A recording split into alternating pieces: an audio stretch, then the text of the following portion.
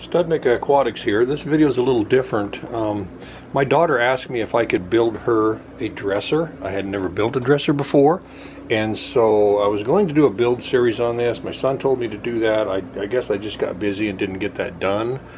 But basically, basically this is it. I need to put one more coat on. I think it turned out really good. Um, of course, I don't have the drawers in there right now. They're in the shop and they need some more clear coat.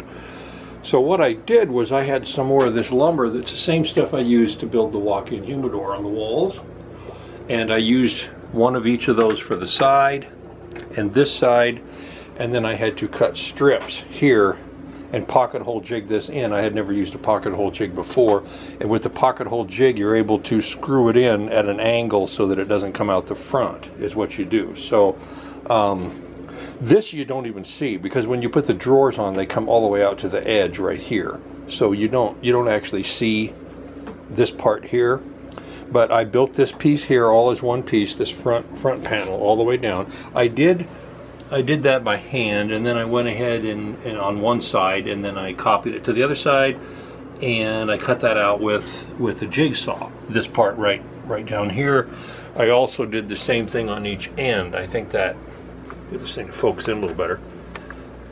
I did that on each end, so that, that helps it a little bit. The other thing that I did was, yes, you can see screws sticking out here.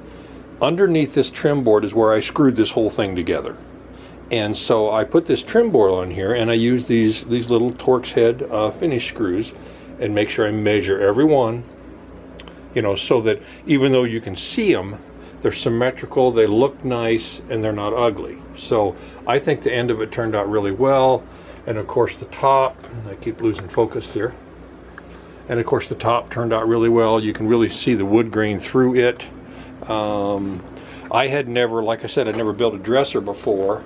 And I got these runners here for the drawers at Menards. I wanted some, and so did my daughter, something that, that ran smooth and when you do those, it's all about the distance, I mean down to a 32nd of an inch from here to the other side based on how wide the drawer is in order to make it. So it takes a little bit of shimming.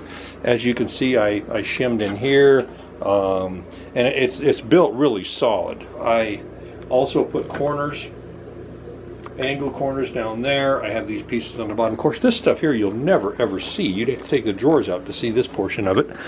And I have the corners up top, same thing.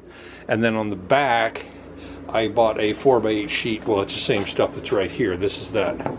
I forget even what it's called, but it's really rigid. Um, this is quarter inch. I didn't want eighth, so this is quarter inch. And once I put that on the back, that really solid it up. I mean, it's solid and it's it's heavy. It's it's very very heavy. But I want this dresser to last her the rest of her life. And so that's, I kind of decide that's why I need to build stuff, build it so that it can be a family heirloom or something. And I think it's gonna, she's gonna like it real well. Um, here are the drawers.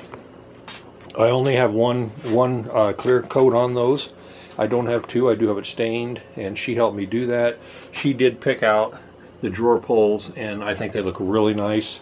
I did not router the top and I did not router the drawers because she didn't want them routers. She wanted more of a um, contemporary look rather than a classic look.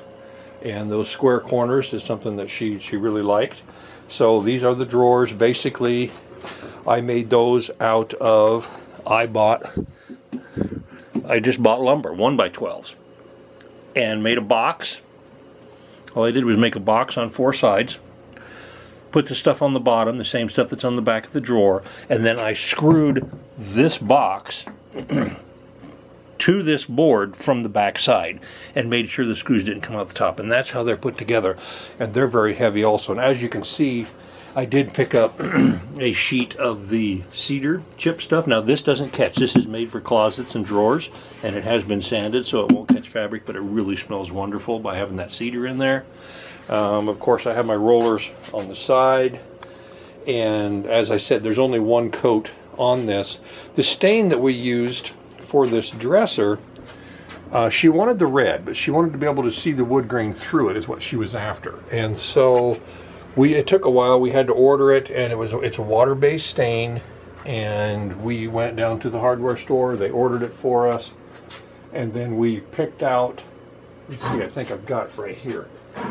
Yeah, I'll show you which one it is if I can get it off the, off the wall. Yeah, here's the stain that I used. Um, it's a water-based stain, which is nice but also you, it was a tint base is all it is. And so we just started adding red and we, we, we mixed it the way it did on the chart. It, it didn't turn, it looked too red. So we added burgundy. Anyway, we finally come up with a color that we liked.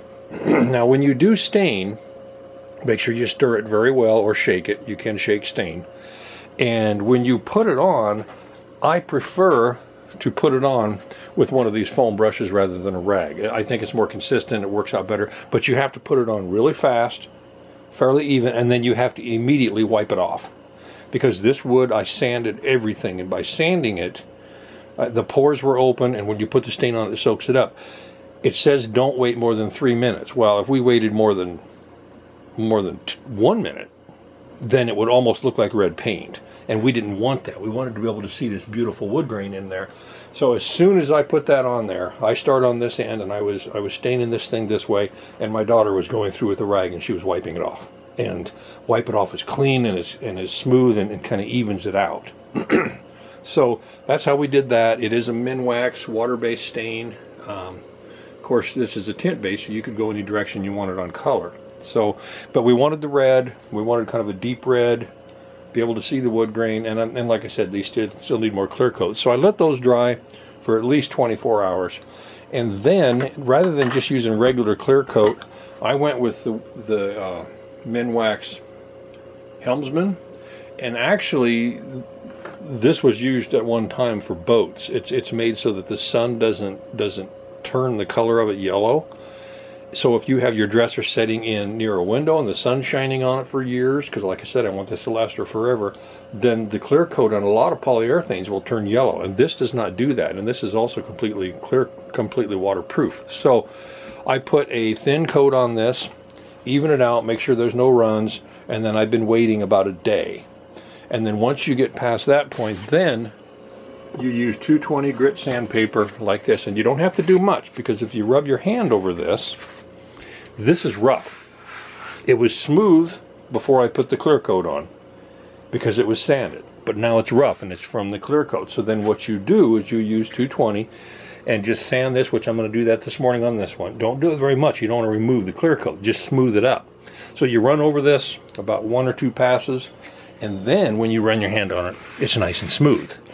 Then take a rag, you know, just something that's um, that's dry, and then you can wipe that off because it'll leave kind of a white film where the sandpaper picked that stuff up, and wipe that off, and you're ready for a second coat.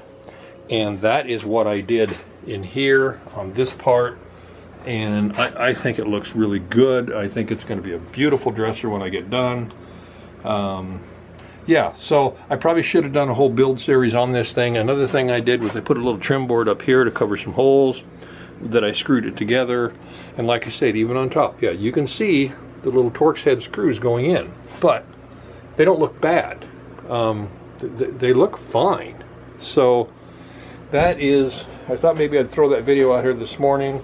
I, I don't, obviously I'm not going to stick the drawers in it and show you what it looks like with the drawers in now because I'm, I'm in the middle of still, still doing this, but I think I'm going to go ahead and put this video out there today. This is Sunday. I think the dresser looks looks beautiful. I think it turned out really well for never having done it before. And I'm sure there's people out there that have a lot more tools than I have that have done this before or do this for a living that are going to say, well, you did it wrong. Well, I don't know if I did it wrong or not, but it's solid. I mean, that is a solid dresser and it will last a long, long time.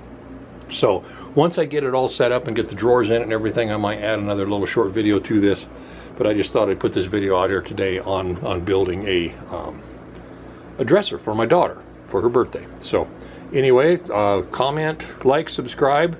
I have other things I'm going to be releasing on this thing. I start plants because I built a greenhouse out of wood and glass in my backyard and I'm going to be redoing that. So I'm going to be covering that this summer on my channel. I also have a backyard pond that has a hole in it, so I'm going to have to repair that. I'm going to put that on my on my channel. So I have I have a lot going on. So anyway, that's a video of my uh, my dresser build for my daughter, and I think it's I think it's a beautiful dresser, and I just need to finish putting. I don't know if I'm going to put one more coat on. This has two coats of the clear coat on there.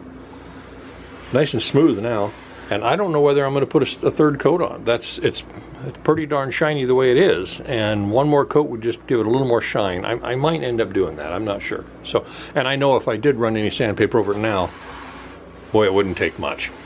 Just maybe one short pass just to get rid of any rough edges and then put it on then it should be just smooth as can be and very very shiny so that's what she wanted so anyway this is Studnicka Aquatics and I'm just you know showing you this dresser build like comment and subscribe